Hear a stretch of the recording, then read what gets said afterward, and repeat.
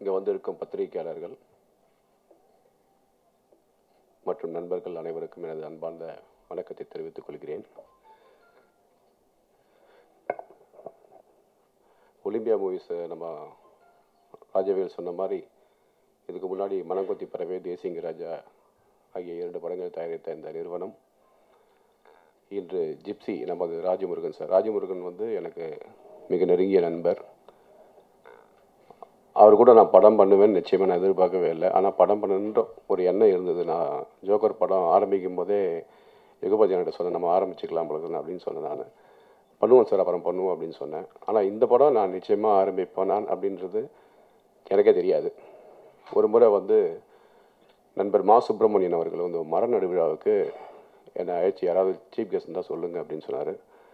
அப்போ நான் சொல்லும் போது ராஜமுருகன் சாரை கூப்பிட்டோமா? அப்படின்னு கேட்டேன். உடனே கூப்பிடுங்கன்னாரு. அப்போ போயிட்டு அந்த மர நடுவிழா முடிச்சுட்டு அவரை திரும்ப ஒரு இடத்துல ட்ராப் பண்ணுறதுக்காக வந்திருந்தோம். அப்போ வர வழியில் ஒரு படம் ஒன்று பண்ணலாமா சார் அப்படின்னு கேட்டார். பண்ணுவோம் சார் அப்படின்னா எனக்கு சந்தோஷமாகிடுச்சு ஒரு நல்ல மனிதர் நல்ல இரண்டு படங்களை வெற்றி படங்களை தந்த ஒரு இயக்குனர் சமூக சிந்தனையோடு இருக்கக்கூடிய ஒரு இயக்குனர். நம்மக்கிட்ட கேட்கும் போது அவ்வளோ சந்தோஷமாக இருந்தது. பண்ணுவோம் சார் அப்படின்னா. பட்ஜெட் எவ்வளோன்னு சொன்னார். ஒரு பட்ஜெட் சொன்னார். நிச்சயமாக பண்ணிடலாம் சார் அப்படின்னு சொன்னோம். ஆனால் அவர் என்கிட்ட கதை சொல்லுவார் நான் எதிர்பார்க்கவே இல்லை. ஒரு முறை சார் ஃப்ரீயாக இருந்தால் கதை கொஞ்சம் சொல்லட்டோமா? அப்படின்னாரு. எனக்கு ரொம்ப எதிர்பார்க்கவே இல்லை. ரொம்ப சந்தோஷமாயிடுச்சு. அப்போ தான் சட்டமன்றம் முடிச்சுட்டு சட்டமன்றம் நடந்துகிட்டு இருந்த நேரம் அது. முடிஞ்ச உடனே நான் வந்துடுறேன் சார். டி நகர் வந்துடுறேன் சொல்லிட்டு வந்து கேட்டோம். கேட்ட உடனே கதை ரொம்ப பிடிச்சது. பிடிச்ச உடனே அதுக்கப்புறம் பேசுவோம் சார். அடுத்த விஷயம் பேசுவோம் அப்படின்னு சொல்லும்போது இந்த படத்தை வந்து எப்படி பண்ணலாம்? யாரை ஹீரோ காஸ்டிங்லாம் எப்படி பண்ணலாம் அப்படின்னு சொல்லி பேசும்போது சார் வந்து ஒரு ஹீரோவை சொன்னார். எனக்கு வந்து ஜீவாவோட பெர்ஃபார்மன்ஸ் ரொம்ப பிடிக்கும். அவர் பண்ண டிஷ்யூ படத்துலேருந்து கோ படத்துலேருந்து நிறைய படங்கள் அவர் பெர்ஃபார்மன்ஸ் எல்லாம் ரொம்ப ரசிப்பேன். நான் அப்போ சொல்லும் போது ஜீவா சார் எப்படி இருப்பார் சார்? அப்படின்னா ரொம்ப நல்லாயிருக்கும் சார் அப்படின்னாரு. அப்போ நான் அவரை வச்சு பண்ணலாமே அப்படின்னு கேட்கும்போது அதுக்கப்புறம் தான் ஜீவா சார்கிட்ட பேசி அதுக்கு நம்ம நண்பர்கள் ஜேம்ஸ் மூலிமா அப்பாயின்மெண்ட் வாங்கி கதை சொல்லி அவருக்கு ரொம்ப பிடிச்சி போய் உடனே ஒத்துக்கிட்டாரு.